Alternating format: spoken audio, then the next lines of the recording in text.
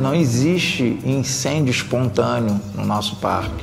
Existe incêndio criminoso. E tudo isso que você vê acontecendo não acontece por acaso. Acontece com uma finalidade econômica. E eu sou a pessoa que foi designado para cessar esse crime, combater esse crime e, junto com as autoridades policiais, fiscalizar e descobrir os responsáveis pelo crime.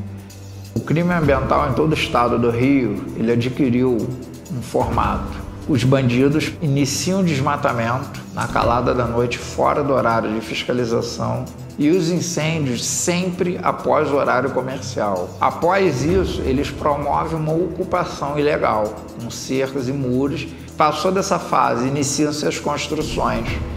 E construções berrantes, condomínios, casas grandes. Assim está sendo feito o crime ambiental hoje por todos, desde o pequeno até o miliciano. Essa novidade aqui em Búzios, ela ganha um novo ar. Ela tem o auxílio direto de pessoas envolvidas no cartório e na fiscalização da prefeitura. Então você tem um diagnóstico diferente daqui das outras regiões.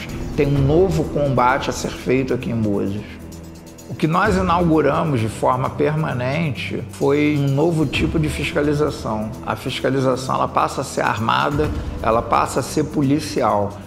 Então a gente já disse que veio, todo mundo de cara limpa, ninguém de máscara, todo mundo avisando. Estou aqui para restabelecer o Parque Costa do Sol. Volte para casa. Todos tinham casa. Isso é muito importante dizer. As maiores ocorrências que nós atuamos foi Arraial e Búzios. Eram pessoas vinculadas à milícia, ao tráfico, todos com a proteção política das prefeituras. Que eles cobravam mensalidades semanais dos supostos moradores ou dos novos moradores reais. A gente destruiu esse sistema de pagamento, a gente destruiu os materiais de construção. Então ficou caro para eles roubarem e invadir terra dos outros todos os crimes ambientais capitaneados no combate pelo INEA foram a mim delegados e a mim resolvidos. Foi destruído todo o sistema econômico das milícias, das narcomilícias e dos assessores parlamentares que estavam envolvidos. Então, cumpri um objetivo político dentro do parque, no sentido positivo, cumpri um objetivo é, junto com os conselheiros, cumpri com o poder judiciário.